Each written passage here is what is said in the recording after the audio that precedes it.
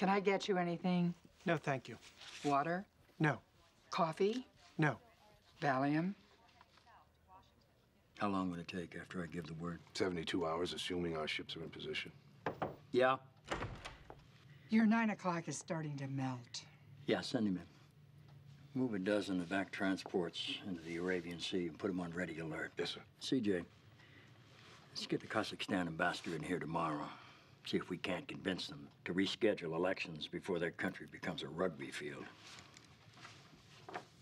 Gentlemen, my future son-in-law. Congratulations. Thank you. Thank you, sir. Congratulations, son. Best of luck. Congratulations. Hi.